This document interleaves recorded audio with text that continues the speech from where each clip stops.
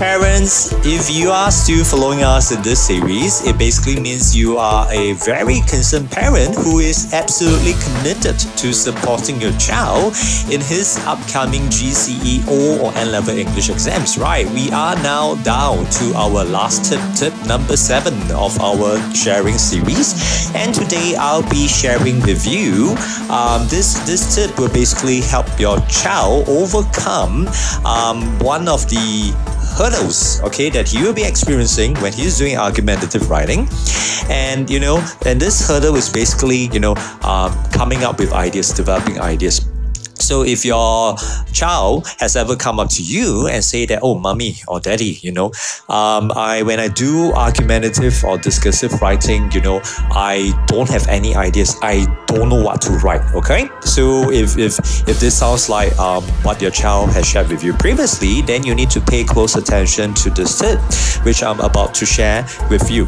Now, first and foremost, why is it that you know previously, um, you know, your child might find it much easier to come up with ideas when they are doing uh, creative recount writing in primary school or even the lower secondary, but now that they have come to argumentative, uh, discursive writing, it suddenly seems that they have no ideas at all. Now, it shouldn't come as a surprise because when your child is doing creative recount writing, what they are basically utilizing is more the right hand side of the brain, right, which is involved with imagination and creativity. So when they need to develop their storyline, their plot, or share their experiences, what they are doing is basically, you know, utilizing their imaginative skills. Okay, but it is a different ball game altogether for argumentative writing because argumentative writing uh, demands logical reasoning as well as for your child to include real life examples uh, in their writing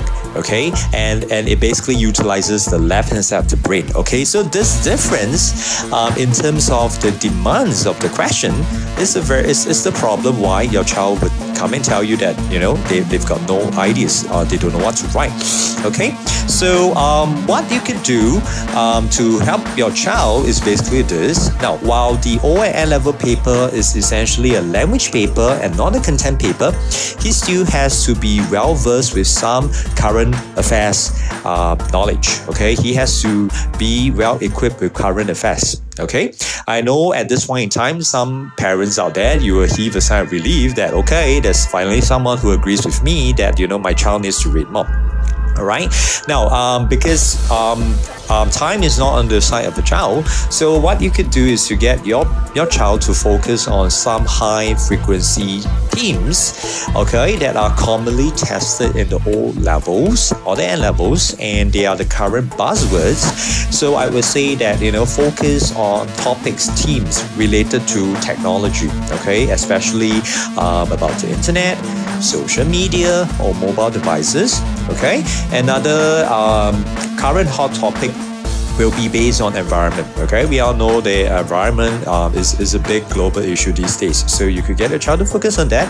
Other than that, uh, topics which relate to teenage experiences, uh, relate to the experiences of youth, uh, will be a hot topic as well. And finally, any topic that relates to Singapore in general, you know, topics related to the theme of food, uh, shopping, or even culture or traditions. Okay, so get your child to read up on current affairs based on the topics that I have outlined to you. All right. Now, so um, if I may use an analogy, all right.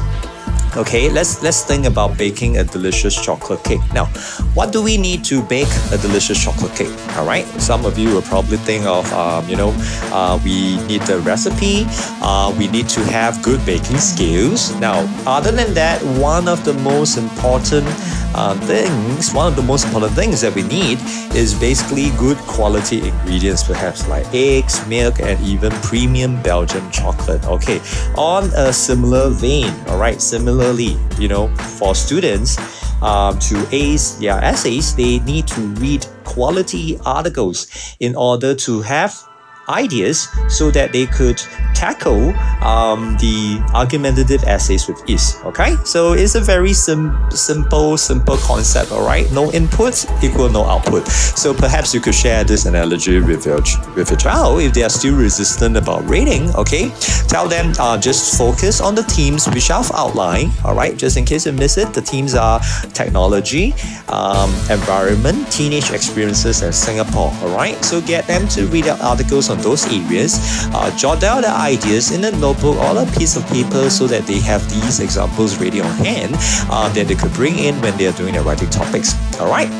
Okay, now, so it has been an extreme privilege to be, you know, sharing so many tips with all concerned parents out there over the last uh, few days. You know, it has been a really deep privilege, and you know, um, I've enjoyed myself, you know, sharing all these tips with you. All right, so um, if your child needs some form of extra support, feel free to contact me or my team of language specialists. All right, and all the best to you and the child for their upcoming national exams. Take care.